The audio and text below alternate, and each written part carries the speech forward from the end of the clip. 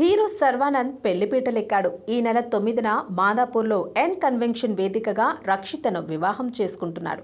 ఈ నేపథ్యంలో తెలంగాణ రాష్ట్రం సీఎం కేసీఆర్ను మర్యాదపూర్వకంగా కలిసి పెళ్ళికి ఆహ్వానించాడు.